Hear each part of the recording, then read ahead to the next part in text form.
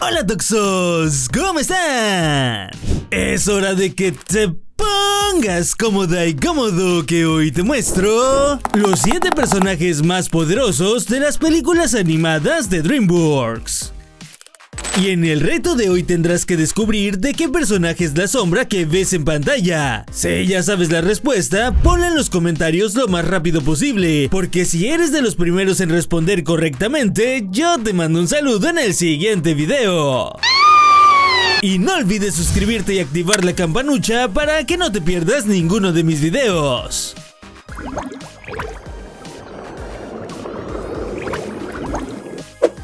Titán en la película de Megamente conocimos a Hal Stewart, un camarógrafo común y corriente que además es torpe, inmaduro y flojo. Sí, básicamente es un perdedor. Sin embargo, su suerte cambia cuando accidentalmente es alcanzado por un rayo del arma de Megamente, con el cual adquiere los superpoderes de Metroman y se convierte en Titán. ¡Cielos, qué macizo! Al igual que Metroman, Titán tiene super fuerza, super velocidad, puede volar y lanza rayos láser con sus ojos, pero lamentablemente lo único que el disparo no le dio fue una mejora de cerebro, pues no dejó de ser un pelmazo. De hecho, por este motivo no pudo estar más alto en el top, ya que sin experiencia ni la inteligencia para utilizar sus poderes adecuadamente, podría ser derrotado por los demás puestos de la lista.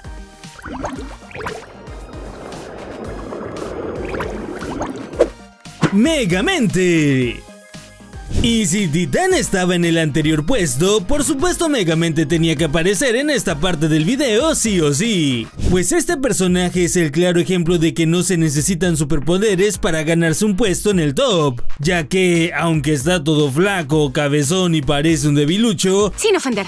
No, yo te apoyo. En realidad esto lo compensa muchísimo con su cerebro, pues es tan inteligente que es capaz de inventar prácticamente lo que sea, desde un reloj que te hace cambiar de aspecto hasta un deshidratador, y solo por mencionar algunos de sus cachivaches. ¡Ay, qué hombre tan salvaje, tan luchón! Eso me prende. Sumado a lo anterior, Megamente es un estratega por naturaleza, ya que con el tiempo suficiente puede idear un plan para derrotar a sus adversarios, tal y como lo hizo con Titán.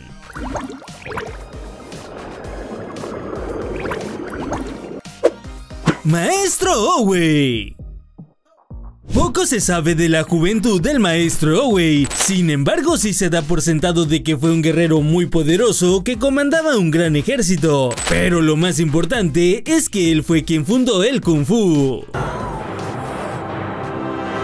Esta tortuga desarrolló técnicas increíbles como el skin douche y logró el manejo del chi. Y por si eso fuera poco, llegó a vivir más de mil años y aún a esa edad demostró su poder al detener a Tai Long sin ni siquiera despeinarse.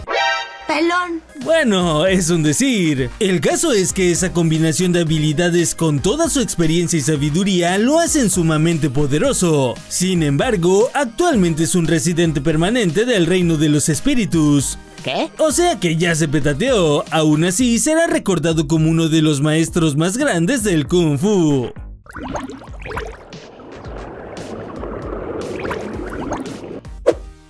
Kai el asesino de Jade, amo del sufrimiento, bestia de la venganza, fabricante de viudas.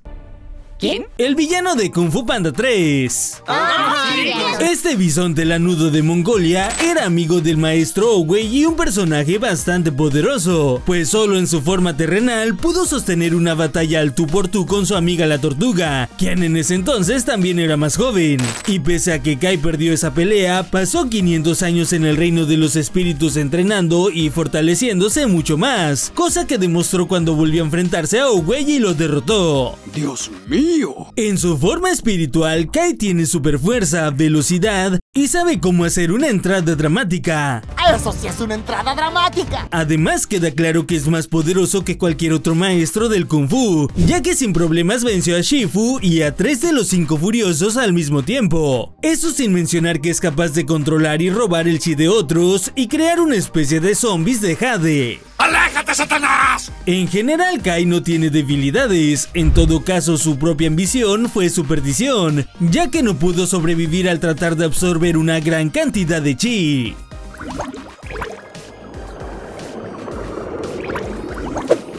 Po.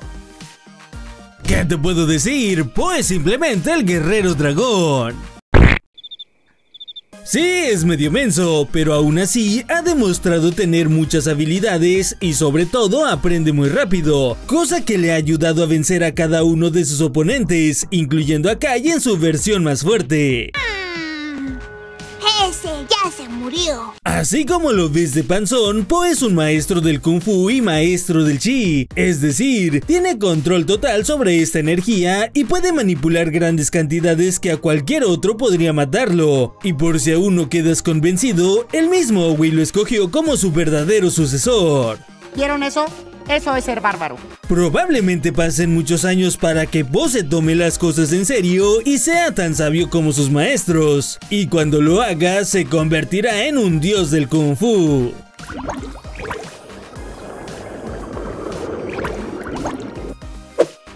La muerte.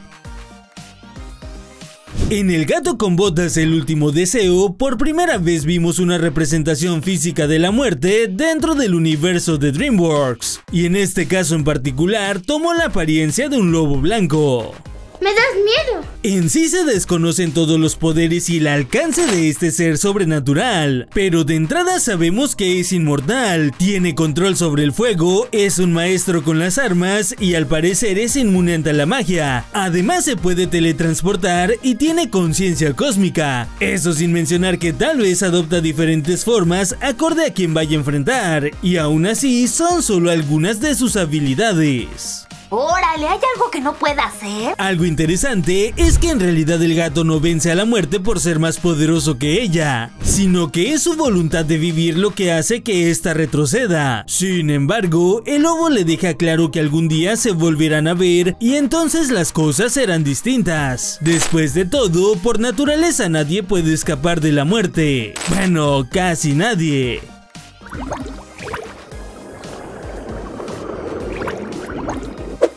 Metroman.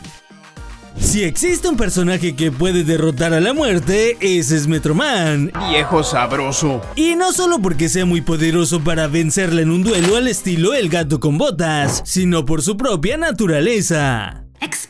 Para empezar, aunque Metroman parece un humano, no olvidemos que en realidad es un extraterrestre ultrapoderoso, por lo que no sabemos cuál es su verdadera biología. Es decir, no sabemos si en realidad pueda morir. Y de hecho, ahora que lo pienso, no tiene ninguna debilidad conocida y tampoco está claro si morirá de viejo, por lo que incluso podría ser considerado como inmortal. Viejo sabroso. Y bueno, aunque no fuera así, Metroman tiene super velocidad, resistencia, super fuerza y puede volar. Y a diferencia de Titán, conoce muy bien sus poderes y sabe cómo usarlos en combate. Por lo que se me hace imposible pensar que exista alguien más poderoso que él en el universo de DreamWorks. He dicho, En el video anterior te pregunté que cuál de estos personajes no era de DreamWorks y la respuesta es el Minion, así que los saludos para quienes respondieron primero y correctamente son para José Gandhi 123, Demian Ordaz, Luis Eduardo Garalk, Super Lalo Crack, Salomón Rúa, Mayo Bros, Antonio Arteaga Chávez y Barney el Drogosaurio.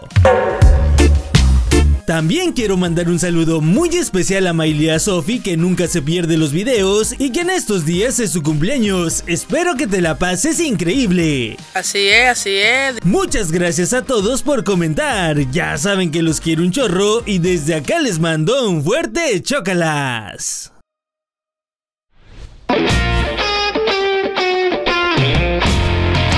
Qué otro personaje crees que podría haber estado en la lista. Déjame un comentario y revienta ese botón de me gusta para hacer otro video así, pero con personajes de Disney. Yo soy Doxo y nos vemos en un próximo video. ¡Chao!